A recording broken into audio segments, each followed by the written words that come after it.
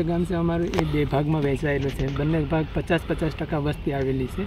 ગામની વચ્ચેથી national highway પસાર થાય છે. એની ઉપર જે બ્રિજ બનાવવામાં આવી રહ્યો છે. જે બ્રિજની ઉપર જે બે પુલ મૂકવામાં આવે છે ગામની બારોબાર મૂકવામાં આવેલા છે. અત્યારે ગામને જો અંદર એક બાજુ બીજી બાજુ અવર જવર કરવું હોય, તો ચારસો મીટર દૂર થઈ અને, બીજી બાજુ પાસ થવું પડે છે. બીજી બાજુ એક બાજુ બે બાજુ આંગણવાડી આવેલી છે, એક બાજુ સ્કૂલ આવેલી છે.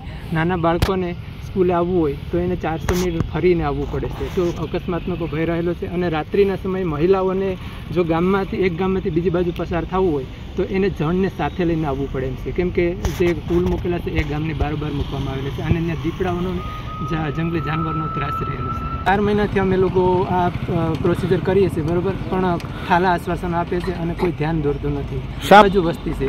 બે એક બાજુ નવા પર છે અને એક બાજુ જૂનો પ્રોગ્રામ છે બરોબર? અને વચ્ચેથી નેશનલ હાઈવે પસાર થાય છે.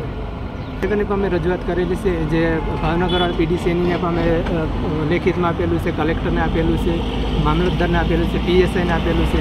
સ્ટેટ નીતિન ગડકરી સુધી અમે વાત પહોંચાડેલી છે. ધર્મ વિનંતી છે કે અમે મોરડિયા ગામ બે ભાગમાં વહેંચાઈ ગયેલું છે.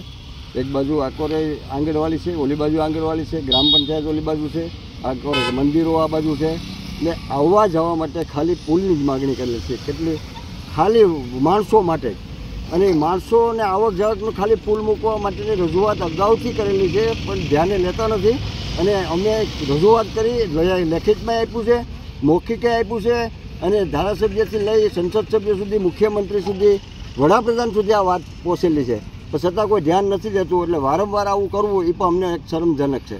અને આ વખતે મતદાન અમે બહિષ્કાર કરવાનું બધાએ નક્કી કરેલું છે કે હવે આ ન મૂકે પુલ જવા આવવા જવા માટે. તો મતદાન અમારા ગામ બધાએ પ્રતિબંધ મૂકવાનું છે કે મતદાન નહીં કરીએ. કારણ કે આ રજૂઆત ન સાંભળે તો પછી કરવાનું શું? એ ખાલી બાળકો માટેની એક વાત છે ખાલી ગેલેરી જ મૂકવાની છે. એમ નથી કહેતા કે વાહન જવા માટે માણસોને જવા જવા માટે લોકોને. ઓકે